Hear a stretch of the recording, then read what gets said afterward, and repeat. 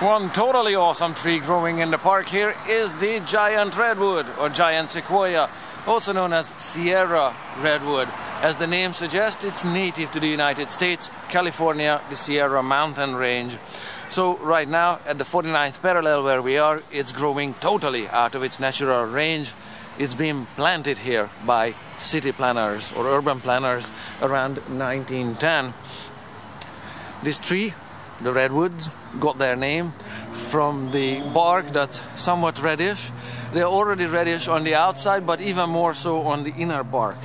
Now, redwoods are endangered in their natural habitat, so I don't want to remove any part of the tree just to see uh, a little more intense red color to the bark. These trees are one of the oldest living trees on Earth. They grow to be 3,500 years old and can reach a trunk diameter, so that's a straight line, of about 25 feet or 8 meters. This one is about 100 years old and it's just a baby. It's about 6 feet in diameter. Let me just put you down on the bench here so you can get a, an idea of the scale here. And I'll just run in there for size.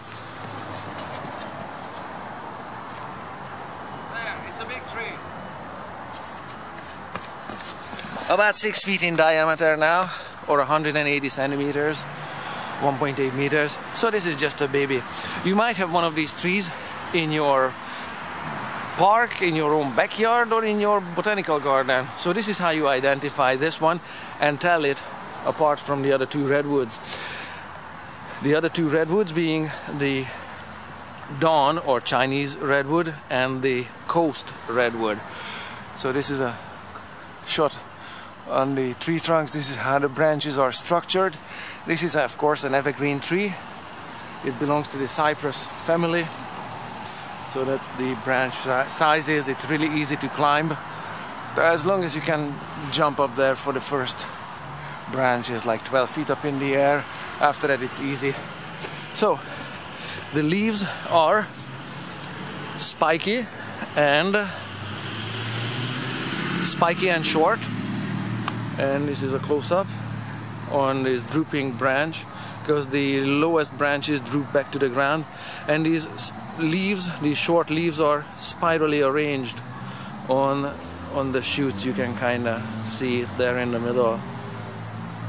The length of these little leaflets or needles are three to six millimeters or an eighth of an inch to a quarter of an inch all right on the other two redwoods they are bigger and longer and leafier and not so spiky.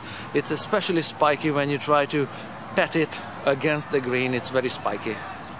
Alright, you have the same spikiness and spiky structure on older twigs. Here is one that's fallen. It's got the same scaly leaves on it. But it looks somewhat like a rat tail with these with these leaflets uh, brown and dry on it. Okay. So that's a twig. And the cones look like this. They normally mature and open on uh, on the tree somewhere atop the tree like way away from the ground here this is how an open cone looks like and this green one fell off uh, they grow at the end of the shoots as you can see and this fell off in a windstorm. This is the 2016, uh, 10th of January, so it's we have windstorms here in the winter, and uh, so this this green one just fell off without without the seeds maturing in it. The casualty of a windstorm, and uh, these cones uh, grow at the end of the shoots there. So that's how these look like.